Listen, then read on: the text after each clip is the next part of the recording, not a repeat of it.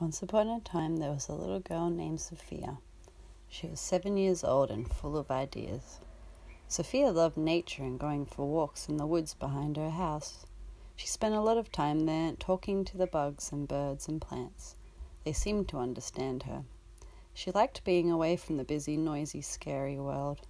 The woods were peaceful and quiet, as though time didn't exist.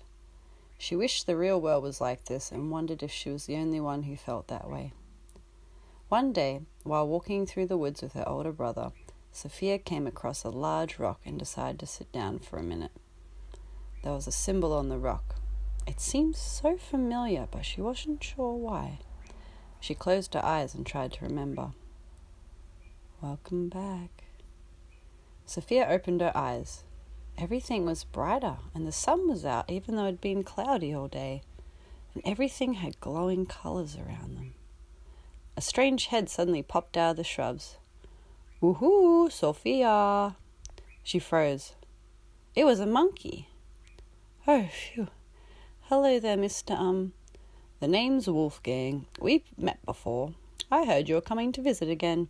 We've all been very excited to see you. Sophia was confused. We? Again? Yes, everyone from the forest. Um, I'd really love to, but it was nearly dark when I sat on the rock a few minutes ago, and my brother may get worried. Oh, nothing to be worried about. Time doesn't exist here. It's kind of hard for humans to understand. Here we do have what you call night and day, but that's just because we like it that way.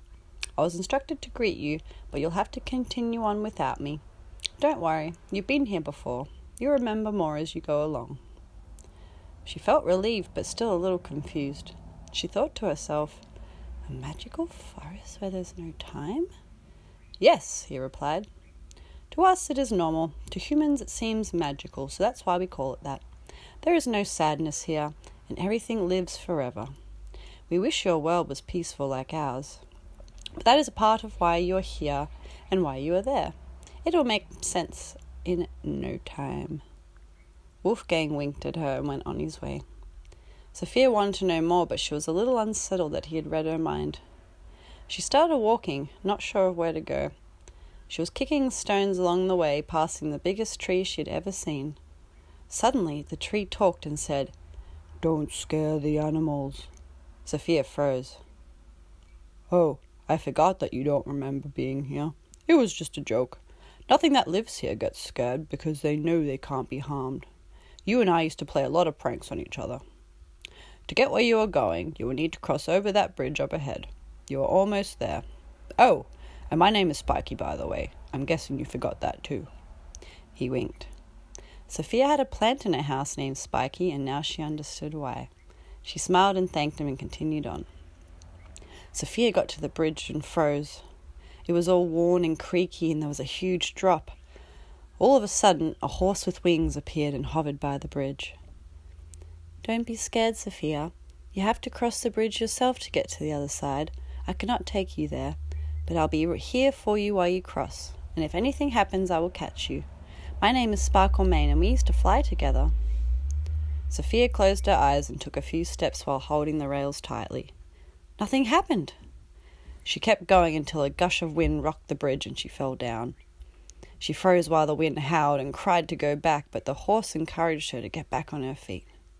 She got back up and kept going even though she was terrified. As soon as she stepped over to the other side, the wind stopped. The horse smiled and winked at her before disappearing.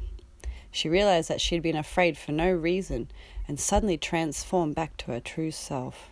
She was no longer a scared little girl, but a beautiful white fairy that shone brightly like the sun. There you are, silly goose. Her heart warmed. She remembered that voice. Moon Bear! She ran and hugged him tightly for what felt like forever.